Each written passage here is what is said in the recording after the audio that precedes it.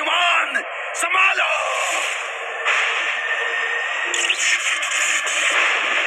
Jai Shri Ram